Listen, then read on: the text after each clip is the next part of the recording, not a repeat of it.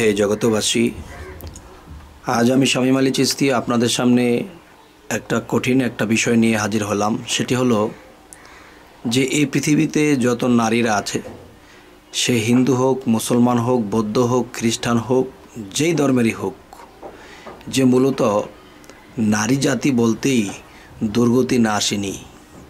দুর্গতি নাশিনী কীরকম? যে দুর্গতি, বিপদ, আপদ যদি থাকে, তাহলে নারী শক্তির কাছে এই বিপদ, আপদ থাকে না। নারী শক্তি যখন দশটা নারী একাত্র হবে, তখন পঞ্চাশটি পুরুষ তারা বিচারে পারবে না। নারী শক্তির কথা বা নারীর কথাটাই গণ্য করা হবে। এ হলো একদিক থেকে একটি শক্তি। আরেকটি শক্তি হলো, দেখা যায় হিন্দু শাস্ত্রের মধ্যে, দেবদেবীদের মধ্যে একজন দেবী, সে হলো দুর্গা। দুর্গা কি?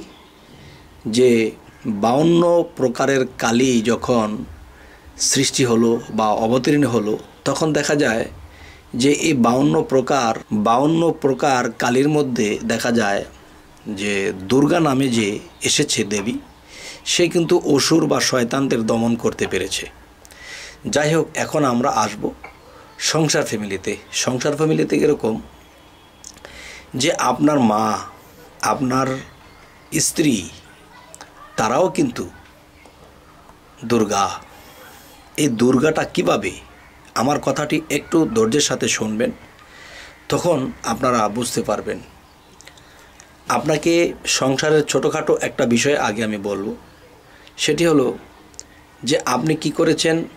একজন অফিসার কিংবা আপনি একটা ব্যবসায়ী বা আপনি একটা বড় স্টোরের দোকানের মালিক, তখন আপনি কি করেছেন? সারাদিন দোকানপাট করেছেন, ব্যবসা বাণিজ্য করে এসেছেন, সেই ক্যাশের মধ্যে বসেছিলেন।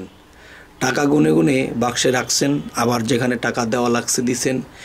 রাতের যখন আটটা, দশটা বেজেছে, তখন আপনি বাড়িতে এসে চারটা খেয়ে ঘুমিয়েছেন।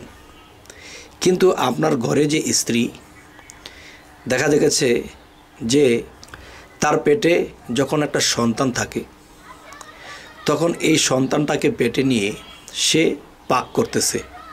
হয়তো হঠাৎ করে আপনি ক্ষুধার্ত হয়ে এসেছেন, তখন আপনার জন্য তাড়াতাড়ি রান্নাবান্না একটু হয়তো এক ঘণ্টা দেরি করতেও আজকে তাড়াতাড়ি করতে হচ্ছে যে আপনি এসে গেছেন।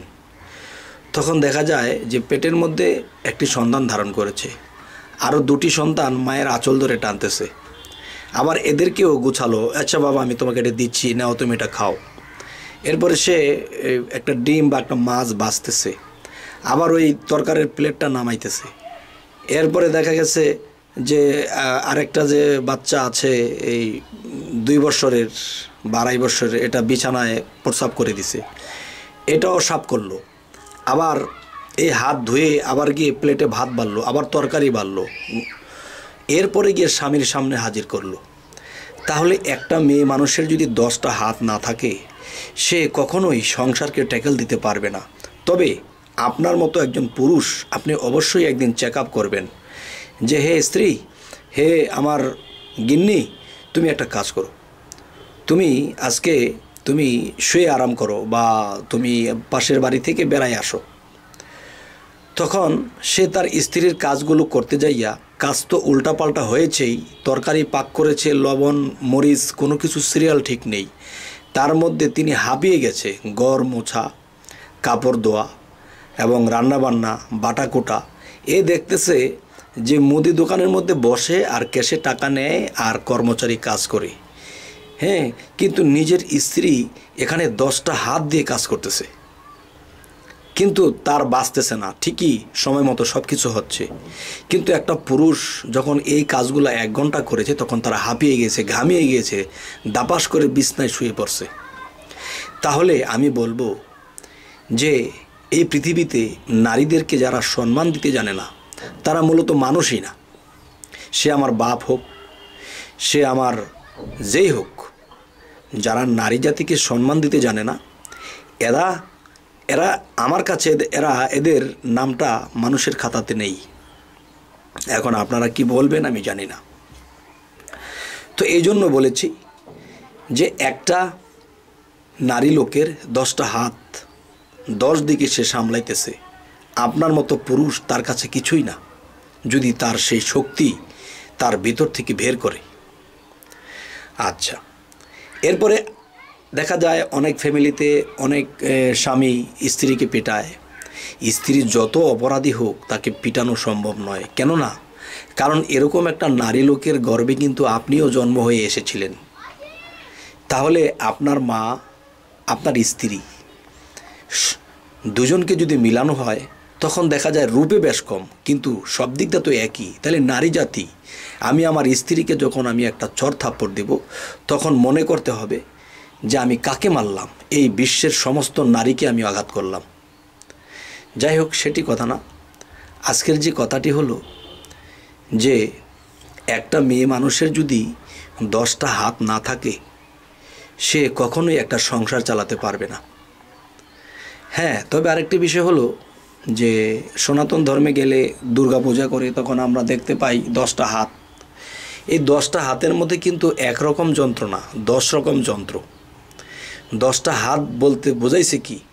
সে, তিনি যেই গুণ নিয়ে এই পৃথিবীতে এসেছে, সে দশ হাতের দশ দিকের শক্তি নিয়ে এসেছে। এই দশটা দিককে সে সামলিয়েছে। শয়তান সামলাইছে, সংসার সামলাইছে, ভালো সামলাইছে, খারাপ সামলাইছে। দশটা হাতে দশটা দিকের গুণ দিয়া দশটা দিকে তিনি সামলাইছে।